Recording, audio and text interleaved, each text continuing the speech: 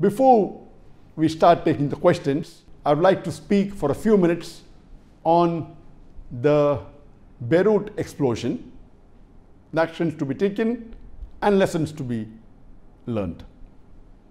As many of you may be aware, four days ago, there was a massive explosion in Beirut on Tuesday, on the 4th of August 2020, at 6 o'clock in the evening, that's Beirut time, or 3 p.m. GMT. And in this massive explosion, it was one of the greatest explosions in the recent time, in which more than 150 people were killed and more than 5,000 people were injured and more than 300,000 people became homeless. According to the president of Lebanon, the cause of this massive explosion in Beirut was because of 2,750 tons of ammonium nitrate that was stored in the Beirut port in warehouse number 12. And this 2,750 tons of ammonium nitrate was stored about seven years ago in 2013 when a ship was traveling from Gibraltar to Mozambique and it halted on the Beirut port.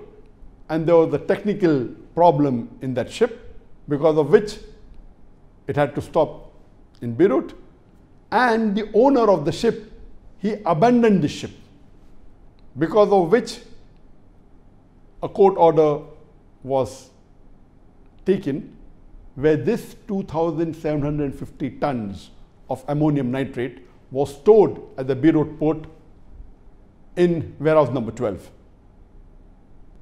actually this 2750 ton, it was supposed to be sold or disposed of.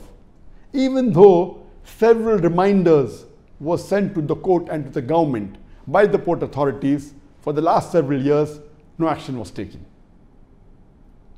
This ammonium nitrate is actually used as a source of nitrogen for agriculture fertilizers. It's also used along with fuel and oil for explosives, for mining or in construction industry.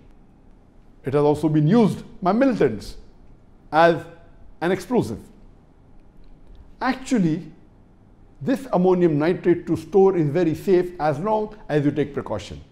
But if you do not take precautions, over time, it may absorb the moisture, it may turn into a rock, and it's very dangerous that it can be inflammable. According to the manager of the port of Beirut, there was a request for repairing the door of warehouse 12 and because of which they were doing some welding to the door of the warehouse number 12 and after that he doesn't know. According to reports, we have come to know that there was a fire at the Beirut port at 6 o'clock Lebanon time, very close to warehouse number 12. And later on, the roof of the warehouse number 12 caught fire at 6 o'clock Lebanon time. And few seconds later, there were many explosions. People thought it was fireworks. And 30 seconds later, there was an enormous, massive explosion which ruined many structures and buildings around the vicinity of the port. And the effects were for kilometers. And the windows of the international port of Beirut, which is nine kilometers away from the site of explosion, the windows were shattered. 200 kilometers across the Mediterranean Sea, the explosion could be heard in Cyprus. According to the reading, they said the explosion was equal to 3.3 scale of earthquake. It was massive. And because of this explosion, there was a crater created of 140 meters wide and very deep at the site of the warehouse where water accumulated and there was a ship which was closed which was blown to the dock because of the explosion. And in this explosion, more than 150 innocent human beings were killed. More than 5,000 people were injured. According to the mayor of Beirut, more than 300,000 people became homeless. And the population of Beirut is approximately 2 million. So 15% of the population of Beirut, they became homeless. And half to 1 million people, directly or indirectly, were affected by this blast. This was an accident, it was negligence. What action should be taken? I would request the Muslims all over the world that the least we can do is pray to Allah subhanahu wa ta'ala for the people who are affected by this blast. And as we know, more than 61% of the population of Lebanon, they are Muslims. More than 52% of the population of Beirut, they are Muslims.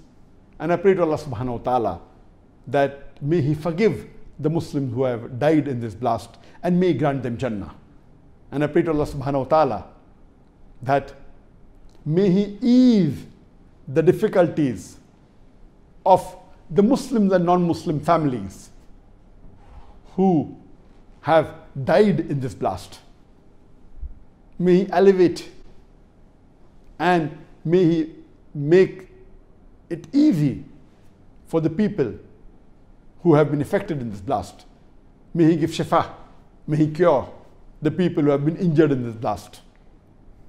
And may He give shelter to the people who have become homeless. And may Allah subhanahu wa ta'ala ease the suffering of all those people of Lebanon who have been affected directly or indirectly in this blast. The least the Muslims can do is pray for the people affected by this blast. The second thing we can do is we can support financially whatever we can to help the victims of this blast. And Alhamdulillah, there are many charities, Muslims and non-Muslim NGOs in Lebanon and in different parts of the world which have started collecting funds. We have in America, in European countries, in different parts of the world. And Alhamdulillah, I request the Muslims that whatever your capacities, whether big or small, whatever you can, we should become part and try and support this noble cause with whatever amount that we can. The third we can do is those people in Lebanon or in Beirut who have not been affected by this blast should support the people who have been affected by this blast. There may be people of Lebanon who may be less affected.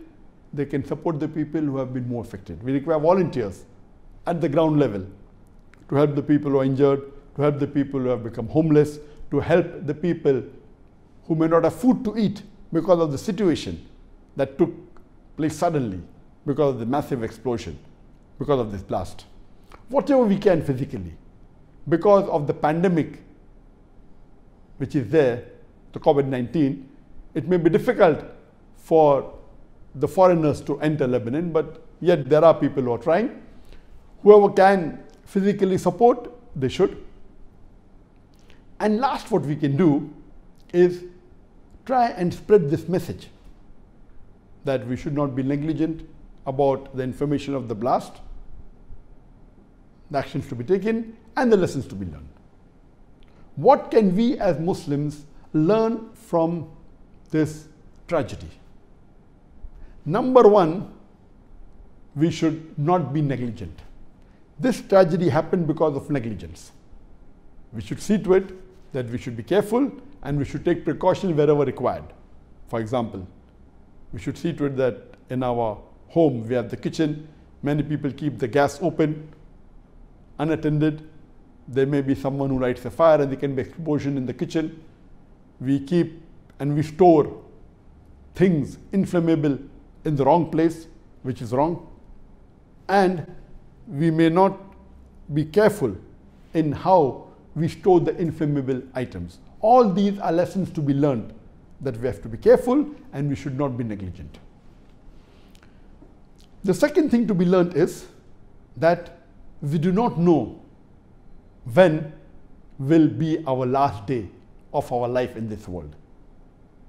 Normally, many of the Muslims, we pray for the Muslims all over the world that are suffering. And I too, every tahajjud, I pray for all the Muslims in the world who are suffering. And I particularly take the names of the people who are suffering more. And I start with the people, the Muslims in China, in Xinjiang, who are in concentration camps, who are being persecuted, who are being oppressed. The Muslims in Burma, the Rohingya, in the Rakhine state. Many people have left their homes. Millions are staying as refugees in other countries. I pray for them. Even the Muslims of Palestine,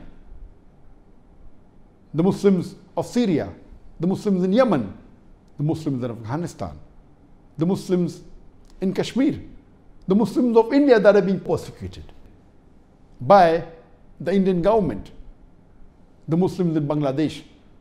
And the list is long. I take the names of the people who are more persecuted. But generally, we pray for all the Muslims, even the others which are being persecuted in different parts of the world.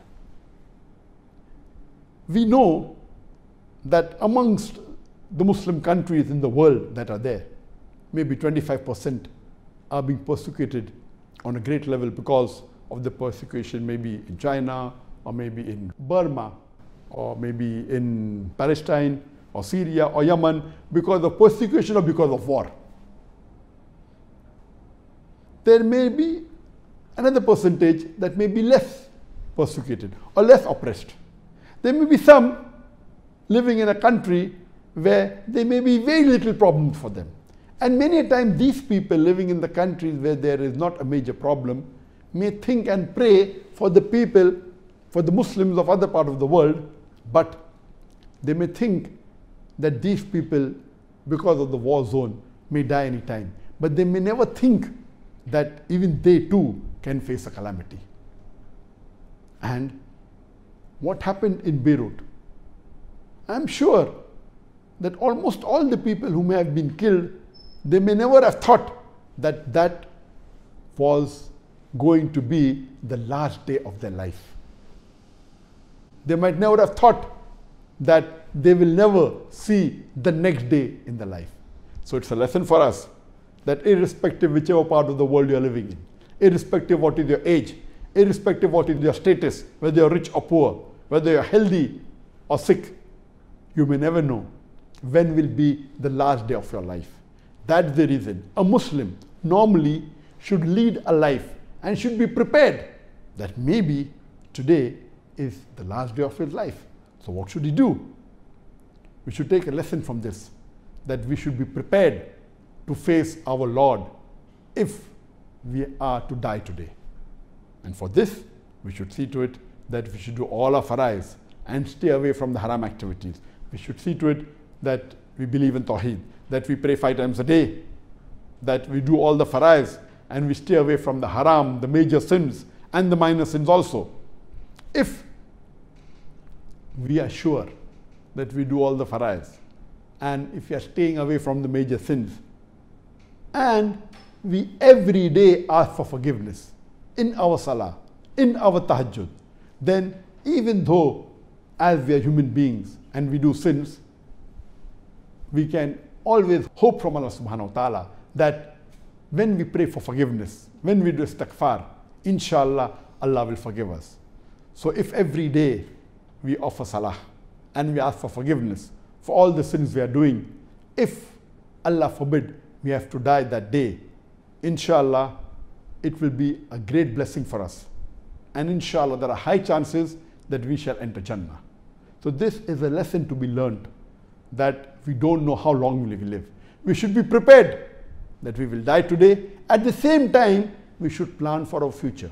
What we are going to do tomorrow, maybe after a few weeks or a few months or few years. This is what a momin a believer does. He plans for the future, but is prepared that he can die today. He may not live to see tomorrow. This is a lesson for us. What happened in Lebanon was accident, it was negligence. It can happen in any part of the world. Maybe we too can face a calamity. And we pray to Allah subhanahu wa ta'ala that may He forgive our sins and may He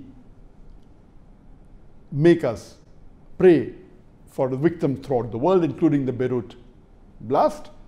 And may we learn lesson from these incidents so that we can come closer to Allah subhanahu wa ta'ala.